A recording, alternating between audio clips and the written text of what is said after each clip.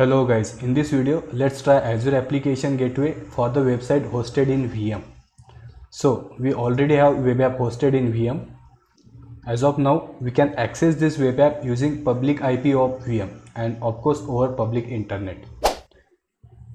And now we want to restrict this access such that the web app it should be accessible only through application gateway. And so we will create application gateway and we will configure the NSG rule for this web app such that it should be accessible only through application gateway. So guys, we are in Azure portal and let's open virtual machines. So this is our VM and we are already connected to this VM using RDP. And you can see now we are in this VM and this that is 20, 28, 41, 237 this is the IP address of this VM and if you see we can access the web app using localhost plus. We can also access this web app using the public IP of this VM let me just copy this URL and let me run it from my local laptop. Yes. So this web app hosted in VM we can access it over public IP and now of course we will create application gateway and we will restrict the access to this web app through application gateway only.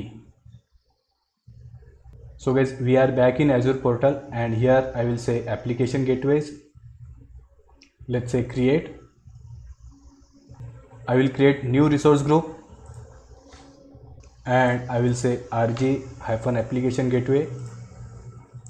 Let's give name to our application gateway. So i will say our second gateway let's keep region as Australia Central tier. Let's select basic. And now guys this is important. That is virtual network. So as of now we will select the virtual network where we have our VM but ideally we should keep this application gateway in a separate virtual network. And then we should do something called VNet peering. Okay? And we'll see it in our upcoming videos but as of now let's select the same virtual network where we have our VM so here I will say our first VM VNet and again in this VNet we have our VM and guys again application gateway will have its own subnet. So let's say manage subnet configuration. Let's create new. And subnet I will say subnet application gateway and let's say add. Let's close this. And now from this subnet drop down let's select the subnet which we just created. And again this subnet it is a dedicated subnet for application gateway. Now let's say next. Let's add new public IP so I will say public IP gateway. Let's say okay next backends. And here let's add a backend pool and obviously in this case it is our VM. Let's give name. So I will say backend pool VM. And from this drop down let's select virtual machine. And let's select our VM. And let's say add. Now next configuration let's add a routing rule. Let's give name to this rule. So i will say rule gateway to vm. Let's give priority. So i will say 150 and now we want to add http listener. So i will say gateway listener. Let's keep it http and now let's use the port as 8080 and now we want to add backend targets. So let's click on it and first this backend pool is the backend pool which we just created. We don't have any backend settings so let's so let's say add new. Let's give name. So i will say backend setting for vm let's keep http and now guys this backend port. If you remember see our vm is listening on port number 8080 so here again i will say 8080 basically that's it. Let's say add. Again let's say add. Now next. And here I will say review plus create. And here I will say create.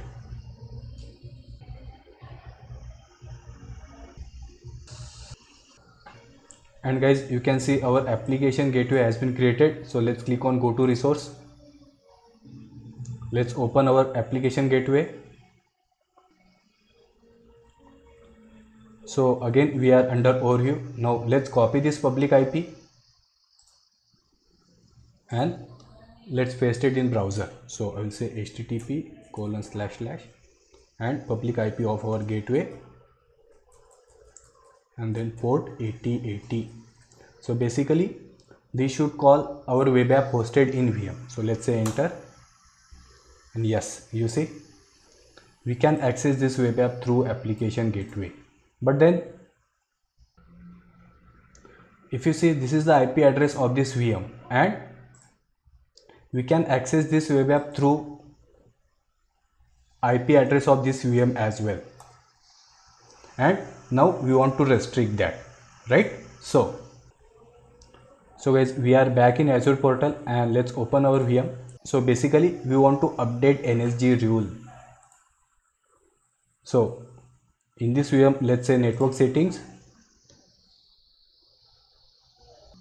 And let's go down. And see guys this rule.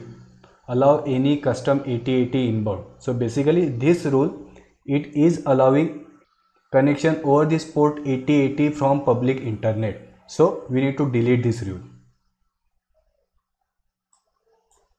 Let's delete so we may need to wait for a few minutes for this rule to take effect. So guys we have waited for a few minutes and now here let's try refresh. So basically we should not be able to access this website. Let's say refresh. Ah we are still able to access. So it might be because it might be fetching it from cache. So let's open new browser and let's paste this url let's say enter